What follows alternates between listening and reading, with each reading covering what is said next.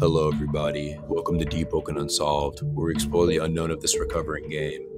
Races aren't as big as a thing as they once were in Monad's past game, Rogue Lineage. They usually give a little side bonus that aren't really that impactful, so as a result, players don't really have much of a focus on them. Something, however, caught my eyes in my DMs, which was a picture of what appeared to be someone with pure white hair and pure white skin with some other accessories.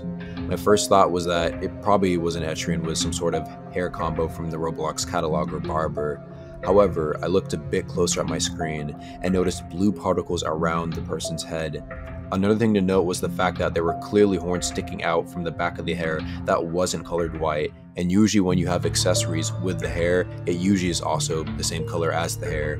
If you add the fact that this person was also Camellia officer, it made it pretty clear that this was the senior Achura. What further reinforces this fact is by what was said when I was doing a podcast in my Discord server.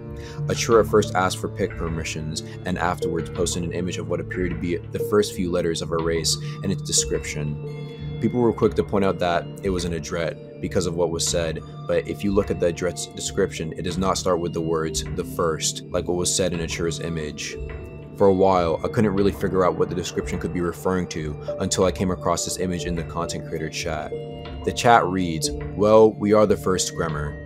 Putting two and two together, it's more than likely what the description was referring to. I could of course be wrong about this, but we have seen several examples of this before, such as the Primal Vesperian. So, this race being something that actually exists, well, that's true. I don't think someone like Achura would show to this degree. She's also a senior mod and is pretty high ranking in the Depot community, and we have seen people such as Natoons get special races, so it's no surprise there. As for if anyone will actually be able to obtain this race, probably not, but it'd be cool to see if it was somehow obtainable in Layer 2. It's been a while since my last Unsolved. I hope you enjoyed the video and have a great day. Peace.